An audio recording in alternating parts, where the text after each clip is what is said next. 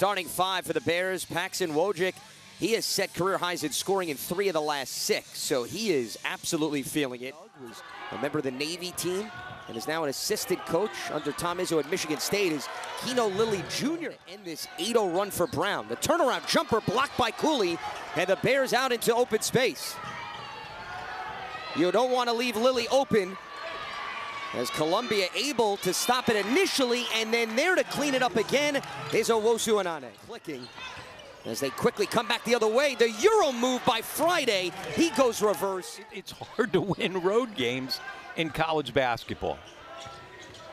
Owusu Anane, eight points in eight minutes. He's been efficient as well as Cooley there for yeah. the easy dunk. Throw an assist onto the stat sheet just about.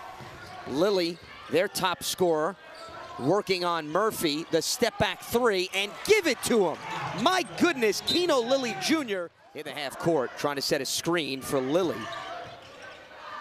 And they're going to leave him open straight away, and he showcases his range as well. He only shoots 15% from downtown. Points and six rebounds per game.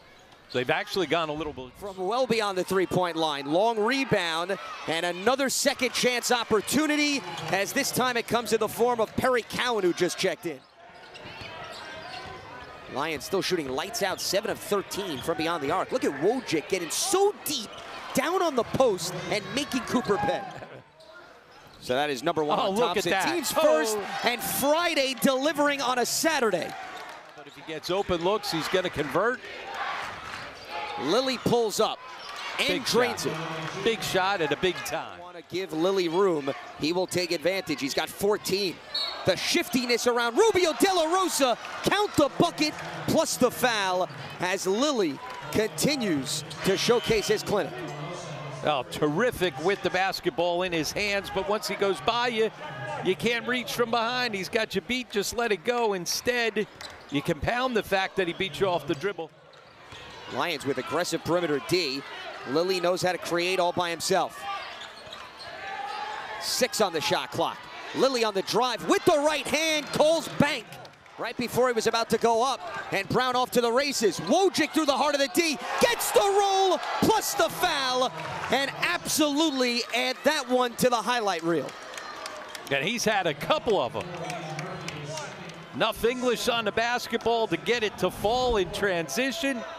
Turnover by Columbia turns into a highlight reel two through contact for Wojcik. What has been an impressive performance on the road. Ferrari grabs the loose ball, lays it in as the Lions had a breakdown in the half-court defensive set. Wojcik lobs it up to Ferrari, gets ahead of the defense, and lays it in with the right.